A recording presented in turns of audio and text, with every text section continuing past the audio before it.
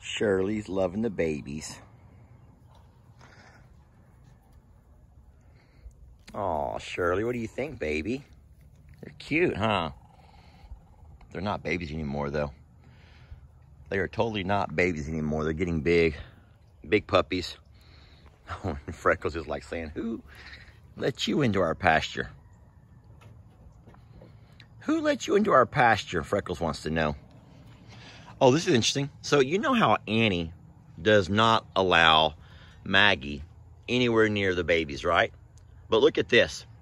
Annie is cautious of the puppies, but she also knows that they're puppies. Watch this. What she does, she, she does not see them as a threat. So she will go to them in a kind of a scary way. She looks horrifying, but the puppies do not realize that she's... Look at this. Guys, this is the most... So intelligent. See, Annie knows that puppies are innocent. She knows that they're just babies. You put a big dog into her pasture and you know what's going to happen. You put a big dog into her pasture and you know what, I mean, you've seen Run Maggie Run, right? You've seen Run Maggie Run. Oh my gosh.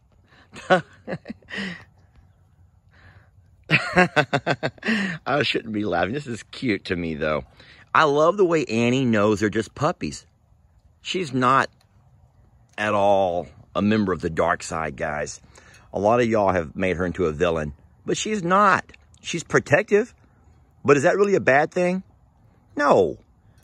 You've all, oh, there she goes. The puppies might should realize that Annie does not really want them in the, in, oh no, this is the cutest thing to me. Oh, I hate when I start giggling like a girl though.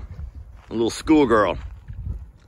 That's what Bear Grylls called it when we were out on our adventure. He said I was giggling like a schoolgirl. oh. All right, I'm going to stop giggling like a schoolgirl. Can y'all come back through here? So here's how the puppies get in and out. Come on. They're able to come through still. Look at that.